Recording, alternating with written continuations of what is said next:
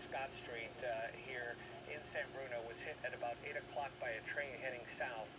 Now, the fire department and the uh, police are still on the scene investigating, and this is having an effect on Caltrain service. Nearly one hour delay.